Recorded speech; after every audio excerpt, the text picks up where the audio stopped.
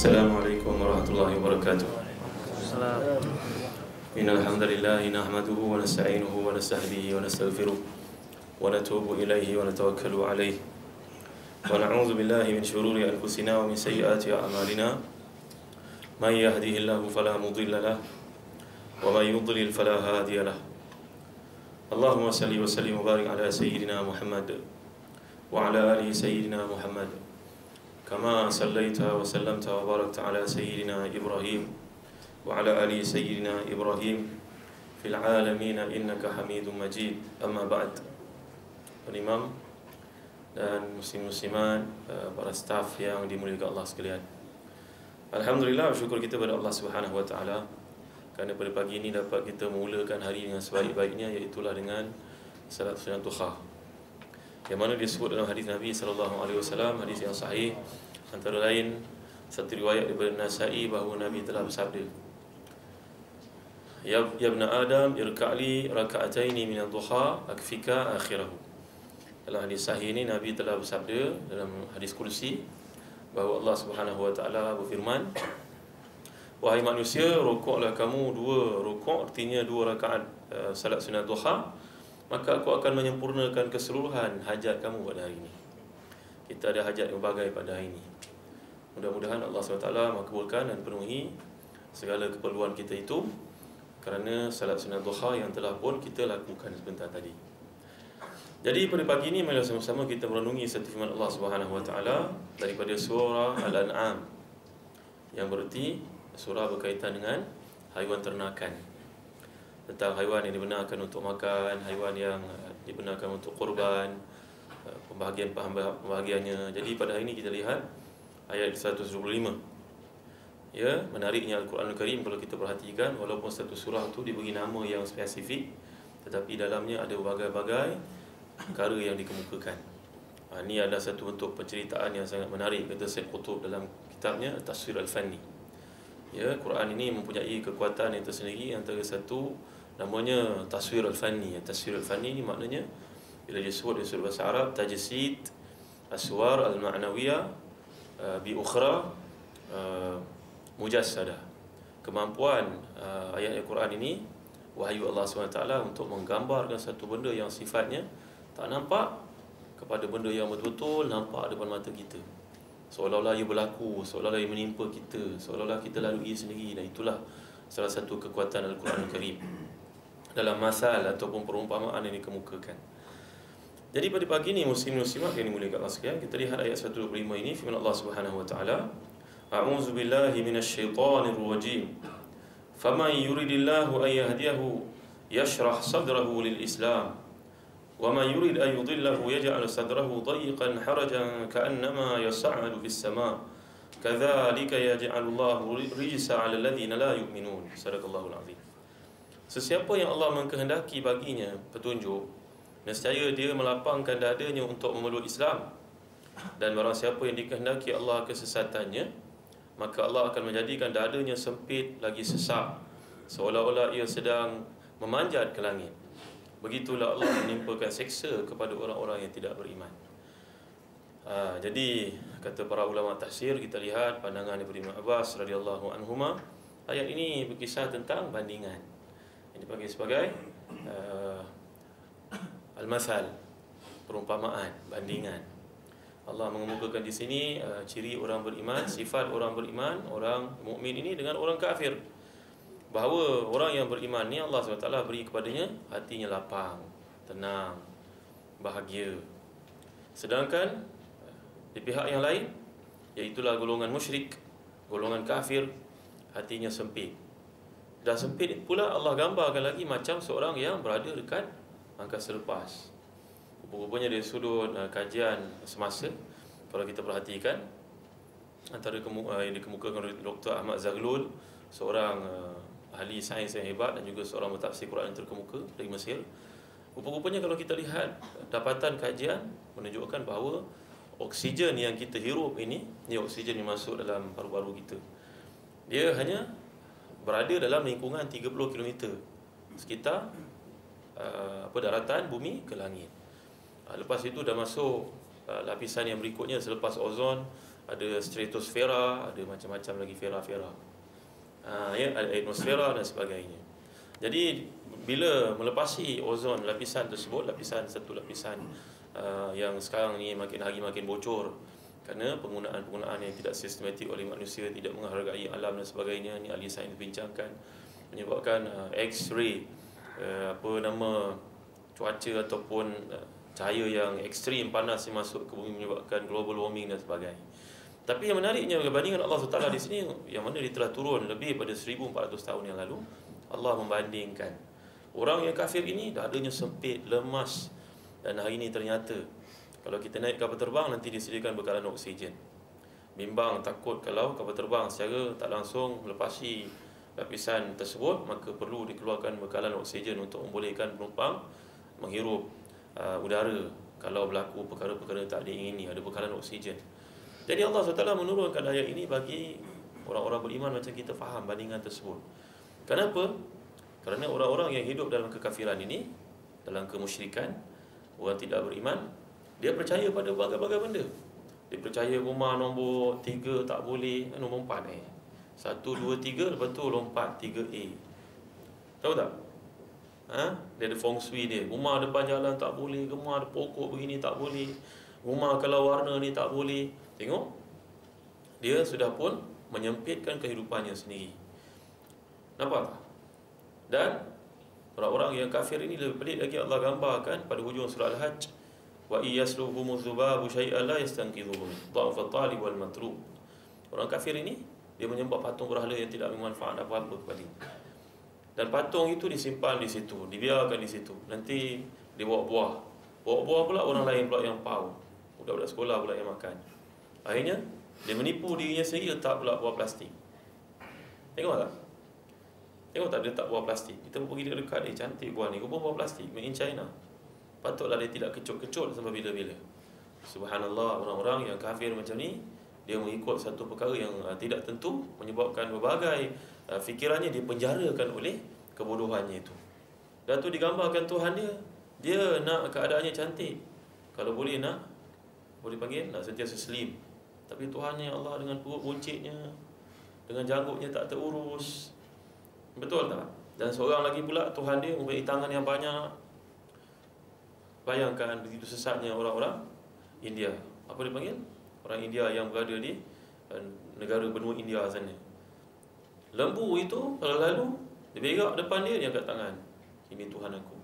Sampai negara India nak ekspor lembu Tak boleh tulis uh, cow Dia terpaksa tulis buffalo. Buffalo maknanya kerbau Kita ingat kerbau daging kerbau Bukan daging kerbau daging lembu. Kerana kalau dia sembelih lembu Dia ekspor ke luar negara Akan menimbulkan konflik kaum yang tidak berkesudahan di India Kerana orang India menjadikan Lembu itu sebagai Tuhan. Kerana itu sumber uh, susu dan sebagainya. Dan lebih pelik lagi Dalam satu dapatan dikaji oleh negara barat Discovery Channel kalau kita lihat.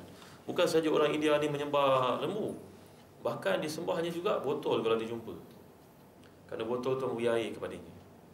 Bahkan disembahnya tikus. Bahkan disembahnya kemaluan orang-orang lelaki. La ilaha illallah Muhammad Rasulullah. Ada tak kesesatan lebih teruk daripada ni Ya, itu sebab bila datang seorang lelaki nak uh, berdebat dengan Nabi sallallahu alaihi wasallam, namanya Husain. Husain. Anaknya Imran yang telah masuk Islam lebih awal daripada ini. Anaknya Imran bin Husain, salah seorang sahabat Nabi yang sangat hebat. Maka bapaknya datang ke rumah Nabi di, Pada waktu itu Nabi ada di rumah Arqam bin Abil Arqam Inilah markas Islam yang pertama Usrah Nabi adakan kat situ Mengajar Islam kepada uh, para sahabat Maka Abu Jahal, Abu Lahab memutuskan Hussein Seorang lelaki tua yang sudah buta Dipimpin datang Kerana kemampuannya untuk berdebat Dan kata-katanya sangat dikagumi. Seorang yang diberikan kemampuan bercakap. Ada setengah manusia yang memang Allah berikan kepadanya Inna minal bayan ila sihran. Dia ada keumpamaan ke, kekuatan bercakap menyebabkan boleh menarik orang. Ha, tuan-tuan yang dimuliakan Allah sekalian dia satu skill yang boleh dipelajari. Kan? Jadi Imran bin Hussein ini melihat ayahnya masuk ke rumah Arqam bin Abi Arqam dan nak bertemu dengan Nabi dipimpin oleh seorang kerana dibuta. Anak yang berada dalam majlis ini tak mempedulikan langsung. Dia tahu ayahnya seorang musyrik. Lalu dia pun berjumpa dengan Nabi SAW dengan dengan katanya Ya bana akhi wahai anak kepada kawanku Ini satu panggilan mesra. Kalau kita panggil seorang ya benar akhi maknanya wahai anak saudaraku. Kamu ni telah memecahkan, memecah belahkan tradisi orang Arab, safahta alihatana, wa faraqta jama'atana. Kamu telah memperbodohkan sembahan kami. Kamu telah mengatakan bapak-bapak kami sesat. Marilah kau dengar apa yang aku cakap wahai Muhammad. Marilah kembali kepada agama asal datuk nenek moyang kita. Maka Nabi yang salam tanpa berengah lagi Nabi terus bertanya kepadanya, "Hai Hussein, seorang lelaki yang terkemuka yang pandai berdebat, pandai bincang, bijak pada kata-katanya. Kamu ada berapa orang Tuhan semuanya? Jawapan Hussein, tujuh. Tujuh orang Tuhan. Berapa di langit, berapa di bumi? Satu di langit, enam di bumi. Jawab si Hussein ini. Maka Nabi SAW pun bertanya lagi kepadanya. Kalau berlaku wabak penyakit, kepada siapa yang kau minta? Jawapannya yang di langit. Kalaulah orang berkahwin tak dapat anak, yang mana kau minta? Yang di langit. Kalaulah penyakit berlaku, yang mana kau minta? Yang di langit. Kalau hujan tak turun, apa mana yang kau minta? Ini langit. Habis apa tujuan yang enam lagi yang kau ada-adakan di bumi itu, wahai Hussein? Tengok Nabi berdebat dengan cara yang sangat hikmah. Tanya, kemudian persoalkan balik semula tindakan yang uh, tidak bijak itu. Tindakan bodoh itu. Maka nampaknya Hussein pun lekal-lekal mengalah. Tersentak dia mendengar kata-kata tersebut. Umpama satu kalimah yang masuk dalam hatinya, menggegarkannya, mengembalikan dia kepada kesedaran, kewarasan. Lalu dia berkata, benarlah apa yang kau kata ni, wahai Muhammad. Tengok ini seorang yang akalnya tidak tenteram, tidak bijak. Kerana dia diumpamakan oleh Allah SWT dalam ayat yang lain. Allah waliyul ladzina amanu yukhrijuhum minadh dhulumati ila nur. Walladzina kafaru awliya'uhum taghut yukhrijunahum minadh nur ila dhulumat. Orang-orang beriman ni Allah bawa daripada kegelapan, kegelapan, kesesatan itu kepada nur. Cantiknya bandingan Allah dalam surah Al-Baqarah ini bila Allah gambarkan Islam itu nur. Allah tak sebut anwar. Tahu tak beza nur dengan anwar? Bukan anwar yang tu. Anwar adalah plural bagi nur. Nur maknanya satu. Islam tu ada satu saja. Tetapi bila dibandingkan dengan kesesatan zulumat tengok dari sudut bandingan Allah kemukakan di situ dipanggil dirasa taqabuliyah. Bandingan satu plural lawan dengan satu singular. Satu kata tunggal lawan dengan satu kata jamak Kenapa Allah sebut Islam? Patut Allah sebut kesesatan-kesesatan. Kenapa Allah tak sebut Islam dan kesesatan? Kesesatan itu pun dijamakkan, di apa nama istilahnya? Diperbanyakkan. Disebut dalam arti kata mengandungi erti berbilang-bilang, beraneka, berbagai-bagai, mempunyai kepelbagaian. Kerana nak menunjukkan bahawa orang yang sesat ini dia ada macam-macam benda yang tak betul dalam dalam cara berfikirnya. Bahkan muslim-muslimat ini mulia Allah sekalian tengok kuil yang ada ke depan sana tu. Tokong tu dulu pemilik bangunan ujung punya. Kemudian dia pun masuk Kristian dia tak robohkan bangunan tersebut. Datang orang Hindu pula pergi sembah tempat tersebut. Ya rupa-rupanya dia tak ada Tuhan yang satu. Tuhan dia banyak. Tuhan itu Tuhan ini. Tuhan boleh bergaduh sesama sendiri pula. Kemudian bila nak sokong Tuhan itu kena cocok badan pula supaya Tuhan yang kuat menang kalau Tuhan itu boleh bergaduh, boleh kalah, boleh menang Bukan namanya Tuhan, namanya hantu. Tidak lagi Tuhan, sudah jadi hantu, terbalik. Tuhan hantu. Jadi muslim-muslimat yang dimuliakan Allah sekalian Allah nak gambarkan kepada kita di sini Kita beruntung jadi orang Islam. Hati kita tenang. Dalam mendapat, mengecapi nikmat Kita bersyukur. Kalau kita ditimpa apa pun Kita sabar kerana kita tahu Ada sesuatu kebaikan yang pastinya Allah nak tetapkan untuk kita Jangan jadi pula macam setengah golongan dipanggil sebagai Jabariyah. Jabariyah ni dianggap daripada ayat ni tengok kalau kau baca Allah dah tetapkan untuk engkau kesusahan. Ha, kau faham ni kau lihat ni apa ni kata. Dia cuba mentafsirkan Quran menggunakan fikiran dia. Wa ma yurid an yudhillahu yaj'al sadrahu dayiqan harajan ka'annama yas'adu fis sama. Tengok. Engkau pernah-pernah buat ibadah buat apa Allah dah tentukan hujung dan juga kamu ke syurga atau ke neraka lah fulan. Ha, ni golongan Jabariyah. Satu lagi orang Qadariyah. Tuan dimuliakan Allah sekalian Allah tidak pernah menzalimi kita. Kenapa saudara bekerja pada hari ini? Kan saudara telah ditentukan rezeki, duit? Betul. Kenapa saudara pergi berubat Jumpa doktor Izham? Bila saudara sakit Kan Allah dah tentukan hidup dan mati? Kerana kita tidak tahu apa yang akan berlaku. Kerana itu kita berusaha yang terbaik Adapun pengetahuan Allah ni kalau nak dibandingkan walillahil masalul a'la Allah tidak layak disamakan dengan manusia. Tetapi bandingan ini dikemukakan oleh para ulama memudahkan kita faham. Seorang engineer yang hebat. Kehebatannya dalam pembuatan kereta otomotif. Dia buat kereta macam-macam. Umurnya sudah 30 tahun seniority dia dalam bidang pembuatan kereta. Dia tengok enjin saja dia tahu dah enjin ni berapa lama boleh tahan. Betul tak? Saudara faham tak maksud saya? Seorang kontraktor yang hebat, seorang ahli binaan bangunan yang hebat. Dia tengok je bangunan, dia ketuk saja batu, dia tahu ni batu ni berapa lama boleh bertahan. Kerana ilmu yang ada pada dia. Dia bukan nak runtuhkan bangunan tersebut, dia bukan nak orangnya mati. Macam pembuatan kereta tadi kalau kita tengok F1. Ha, yang datang semua engineer-engineer high class. Tengok saja enjin dia tahu, tengok saja tayar berapa lama boleh bertahan. Dia bukan nak kereta tersebut rosak, tapi dia sudah tahu dalam ilmunya enjin ni boleh pakai selama 10 tahun saja.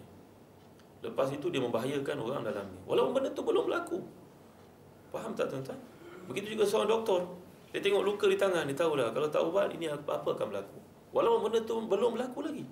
Kerana ilmunya yang luas dalam bidang tersebut. Walillahil masalul a'la.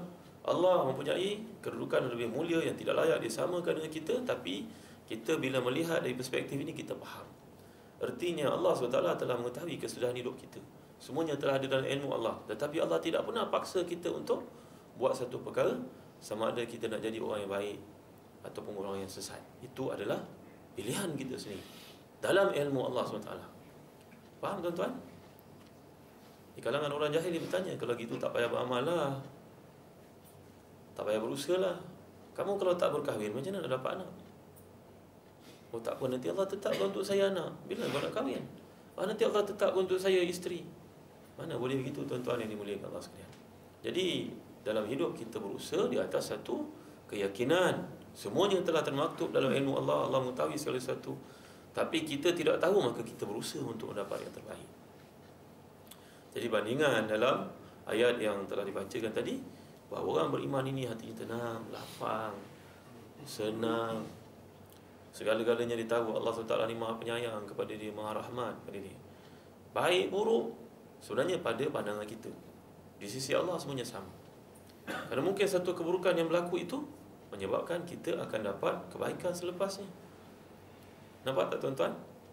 Seorang anak Yang telah pun Lahir dalam keluarga yang miskin Maka ayahnya tidak memberi kepadanya kemudahan macam orang kaya Nampaknya Kesusahan dalam hidup di peringkat awal itu Menjadikan dia seorang yang bersungguh-sungguh untuk menggunakan peluang yang ada sampailah dia membesar menjadi seorang yang berjaya. Nampak Allah susah kan untuk beri kesenangan kepada dia. Kalaulah dia minta dia jadi kaya dan Allah berikan pada mereka awal, dia akan jadi lalai, dia lupa, dia merosakkan dirinya sendiri. Jadi bagi kita orang beriman, kita kena fikir begini. Kena fikir dengan cara yang segalanya adalah yang Allah, aku telah berusaha yang terbaik. Tapi Allah SWT meletakkan begini, aku rida di atas ketetapan Allah SWT itu. Jadi ayat ini uh, penting untuk kita hayati, kita fahami hebatnya Quran, bandingan yang Quran kemukakan. Orang yang sempit dada, orang yang merasa lemas, orang yang rasa sesak nafas ini adalah orang yang tidak Islam sebenarnya. Kerana hidupnya sentiasa dihantui oleh satu benda yang tidak jelas. Sentiasa ada dalam hidupnya gaya berfikir. Tengok burung gagak hitam, memang gagak hitam kan? Terbang waktu pagi, oh ni ada sial lah pada hari ni. Kan? Beli pula rumah dapat nombor begini oh ni mati cepatlah bila hidup kamu akan selesai kalau kamu sentiasa diburui oleh perasaan seperti itu? Ya?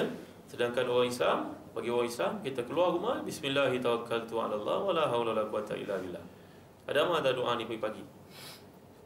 Ada apa cuba ikut saya baca bismillahirrahmanirrahim Tawakkaltu ala Allah. Tawakkaltu ala Allah. Wala haula wala quwata illa billah. Wala haula wala quwata illa billah. Senang ya kan? Bismillah, tawakkaltu ala Allah. Bismillah, tawakkaltu ala Allah. Wala haula wala quwata illa billah. Wala haula wala quwata illa billah. Ha, kalau nak rajin nak tambah Bismillahilladzi la yadhurru ma'asmihi syai'un fil ardi wala fis sama' wa huwas samiul alim. Tiga kali baca lepas subuh, tiga kali baca lepas asar. Mana daripada subuh sampailah ke asar Allah SWT bagi kepada kita satu jaminan penjagaan ha, Bukan jaminan insurans tu Jaminan insurans ni masa kita daftar macam-macam dia janji Bila dah kena macam-macam dia cari-cari cara nak elak Kan? Rasa nak tumbuk-tumbuk je muka orang jual insurans. Janjinya peringkat awal Masya Allah hebat Dah berlaku Macam-macam benda Excuse dia cari Tapi jaminan daripada Allah Tuan-tuan kalau sekalian Tak ada siapa boleh bagi jaminan macam tu. Saya suka uh, gambaran di kemuka Seorang pemikir saya hebat. Uh, Al-Imam Anwar Aulaki. Dia kata ya Saudara ada anak Anak lelaki usia 7 tahun. Maka anak kita pun pulang daripada sekolah Dia dengan gembiranya bagi Ayah, ayah, ayah ni coklat. Dia bagi coklat bar. Bagi yang suka makan coklat bar macam Al-Faruq Gembira dapat daripada anak Allah baiknya anak aku. Bagi coklat ingat dia. Kita pun tak penting sangat. Kerana pemberian daripada seorang anak Kita rasa sangat dihargai. Betul tak? Dia dapat duit raya Dia bagi ayah RM5 Ayah ambil RM5 Subhanallah Baiknya anak ini. Bagaimana kalau saudara baik dengan seorang jutawan? Dia janji pada saudara Kalau saudara buat baik Saya akan bagi saudara sebuah hadiah yang hebat. Kita pun menantilah apa hadiah yang hebat Tiba-tiba kita menganggap dapat sebuah kereta Rupa dia bagi sebuah rumah. Ya Allah Rabbi hebatnya Dia bagi sebuah rumah. Best tak? Itu seorang kaya yang jutawan Kejutawanannya pun terbatas tau. Tapi kalau Allah yang memiliki langit dan bumi Memiliki segala bentuk jaminan Seperti dikatakan Bani Uzaman Said Nursi dalam Rasailun Nur maka bandingan yang dikemukakan itu Allah beri Allah sebut benda yang Allah janji untuk saudara tentulah berlipat ganda daripada yang dijanjikan di jutawan ini. Ya jadi yakinlah. Kan? Kita orang beriman keluar. Yang yakin Allah janji untuk kita. Kau baca doa ni kau selamat. Tiba-tiba tengah jalan kita berjalan dengan kereta. Na'udzubillah min zalik bergeser pula dengan kereta orang. Allah nak menangis rasa. RM500 terbang tapi yakinlah kamu telah baca doa tadi sebenarnya kamu kena lebih teruk. Tapi Allah SWT beri kepada kamu keselamatan sikit saja lima ringgit terbang. Tak ada masalah. Kerana sebenarnya ada lebih teruk lagi musibah nak menimpa dan sebab kamu baca tadi kamu selamat. Faham? Jadi inilah tenangnya hati, lapangnya fikiran dalam apa jua yang berlaku sebagai seorang Islam. Segala-galanya dalam ketentuan Allah SWT. Kita buat yang terbaik, rancang yang terbaik, usahakan yang terbaik bila sahabat-sahabat Nabi bertanya kepada Nabi SAW Wahai Nabi kami bekerja kepada satu ketetapan yang telah difardukan ke atas kita Telah tertulis Dan buat apa kita berusaha lagi Betul tak? Macam soalan kita mula-mula tadi Kenapa saudara datang daripada jauh dari seberang laut? Saudara berusaha Kenapa saudara datang kerja pagi-pagi awal-awal waktu? Saudara berusaha Tak payahlah semua sudah ditentukan Semua dah ada dalam ilmu Allah Kalau kita fikir macam ni Kita akan jadi umat yang mundur. Umat yang terkebelakang. Umat yang tidak maju. Tapi kita merancang untuk yang terbaik. Nabi yang salam telah bersabda kepada para sahabat i'malu fa kullun muyassarun lima khuliqa lahu. Bekerjalah kamu. Kalau kamu ni ahli syurga maka kamu akan dibentangkan diberi kemudahan diberi dorongan diberi motivasi untuk buat taat. Tapi kalau kamu ahli neraka kamu jangan salah siapa. Dia kamu sendiri yang pilih sebenarnya Allah tidak pernah wajib ke atas kamu untuk masuk neraka. Allah tidak pernah menghukum kamu untuk dicampakkan ke neraka. Kamu yang pilih jalan tersebut sebenarnya. Betul tak? Kalau azan zuhur berkumandang, kita mungkin nak buat satu perubahan sikit lah ya. Tandas ada muslimat dah bertambah ramai, mereka request tandas yang lebih ram, banyak untuk mereka. Maka kita kenalah betul ansur. Maka nampaknya bilangan tandas berkurangan. Maka aturlah waktu yang baik. Kalau kita tengok waktu Setkan pada jam kita Sekarang azan pukul berapa? Kita dah siap ambil semayang Tak adalah berebut-rebut. Kerana ruginya kita tak ambil manfaat Semayang berjemaah duduk kat saf yang pertama Berbanding dengan Orang yang di saf-saf yang berikut. Jadi rebut, cari Usahakan. Plan betul-betul Letak dan jadual betul-betul. Ha, Ya, rancangkan betul-betul. Supaya kita dalam setiap benda yang kita buat Pahala, pahala, pahala Jangan dirugikan. Ya? Jangan bila dah kawal bola kita kelangkah bola Ini kita tidak dapat semayang berjemaah. Kita dapat setakat memberi salam saja Pahala semayang berjemaah tu 27, 26 turun Akhirnya dapat satu saja Ruginya. Kenapa orang lain boleh dapat? Jadi kita kena fikir kod macam ni. Direction yang macam ni. Ya? Jadi setakat itu saja Untuk maklumat semua Mudah-mudahan kita dapat manfaatkan sesi pada pagi ini Memahami konteks orang beriman ini Yang diberi kelapangan, ketenangan Kedamaian pada hatinya Sedangkan orang tidak beriman itu dihantui oleh kegelisahan, kesusahan. Cara berfikirnya yang salah menyebabkan semua kehidupannya ada hantu. Dibayangi oleh benda yang tidak pasti. Kita orang-orang tidak sama sekali. Setakat itu saja. Allahu a'lam sallallahu ala sayyidina Muhammad وعلى آله وصحبه وسلم الحمد لله رب العالمين. السلام عليكم ورحمة الله.